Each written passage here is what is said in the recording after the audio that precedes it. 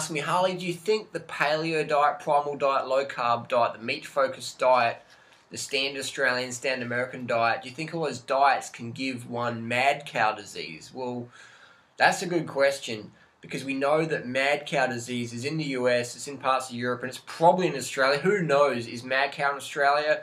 I mean, they don't really test for it here, and we still feed bovines to bovines and do all sorts of dodgy stuff like that. So, so here in Australia, the thing with mad cow disease, Creutzfeldt-Jacobson's disease, which is a human variant of mad cow BSE, if you don't, if you've lived in the UK between a certain time period, you're forbidden from giving blood in Australia. That's how serious it is. But why? Because we don't have a test in Australia for Creutzfeldt-Jacobson's disease, which is mad cow disease. It's a human variant of mad cow disease, aka BSE. So that's how that's how big it could be. They don't even have a test for it. That's pretty interesting stuff. Again, why test for something that could be so big and threaten the trillion dollar industries? Just saying.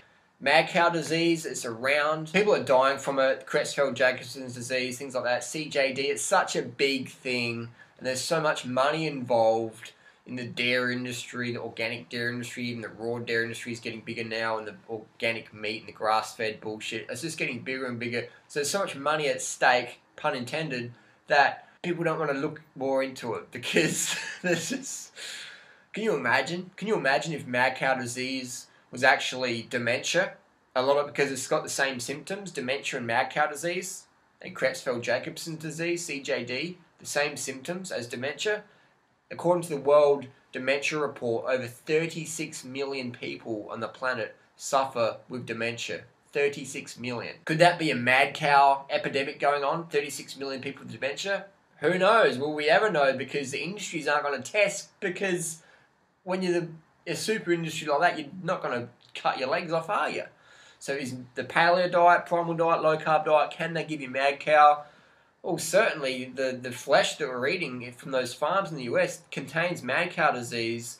And just because your cow's organic doesn't mean it can't have mad cow disease. But people say that. But then it's like saying, well, if you get bitten by a wild skunk or a fox or a raccoon, get checked for rabies. But that's a wild organic animal in the middle of the, the Rockies. But get checked for rabies, you know. But if you're eating grass-fed beef from the, the local organic farm, and then across the road they have the mad cow disease breakout, and it's just across the road or down the thing or whatever, you know, it's like, what's going on, man? We know mad cow disease, contagious. We know mad cow disease is in the US. It's in Europe. So, you know, and who knows if it's in Australia. I mean, they're just not going to be looking for it. So my opinion is definitely you've got to be careful. If you're eating the paleo diet, primal diet, standard Australian diet, standard American diet, all those diets basically the same. Meat based, meat based, meat based, dairy. My suggestion is get yourself checked, get your tumor markers checked, get your CRP checked, get your homocysteine checked, get checked out for hemochromatosis, get checked out for a lot of things because these diets are dangerous. I mean, look at poor Dr. Atkins died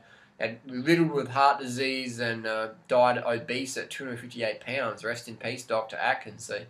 And Stephen Burns, he was 41. He was like one of the paleo primal, you know, full on promoters, and he died at 41, I think, for stroke. You know, rest in peace, Stephen Burns. So you got to be careful with these fad diets. Be careful with these things, man. Don't just like rush into it because you read someone's blog and they got some Photoshop picture of them where they're obviously on steroids and all ripped and jacked and like, oh, I eat bacon and eggs and that's why I'm so ripped and jacked.